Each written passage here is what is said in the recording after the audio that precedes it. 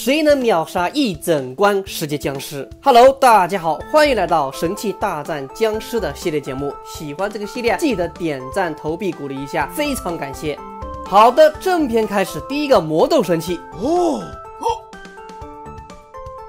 哎，怎么样？是不是非常的解压？这一击把所有小僵尸都飞到场外了，这个有点像熊果的秒杀感觉。不过打这个巨人的话是有点困难啊。话说回来，他召唤了好几个原始豌豆，其实也能击杀所有的世界巨人，只不过是时间问题罢了。能进塔神器，你们懂的，直接能够把他们全部消灭。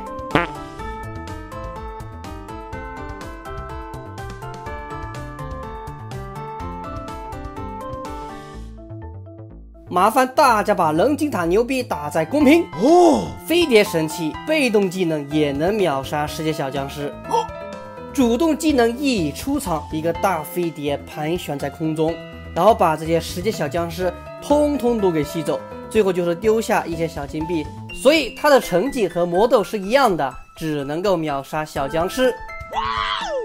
恐龙号角神器。能秒杀的小僵尸不多，但是能造成很久的群体眩晕。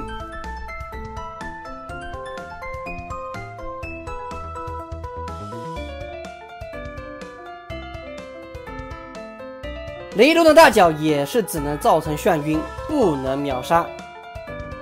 退化神器。被动技能也能有概率秒杀小僵尸，主动技能把很多小僵尸都变成小鸡，所以的话算是可以秒杀大量小僵尸。第二次使用，你们懂的，这个僵尸变得花里胡哨，各个世界的巨人都有，天空、日本、功夫、童话世界都有。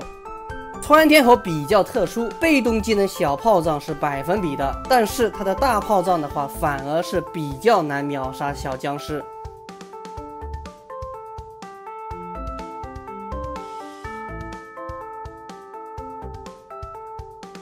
好了，那本期神器大战僵尸就先到这里。想看神器 PK 什么僵尸，可以评论区留言。我们下期不见不散。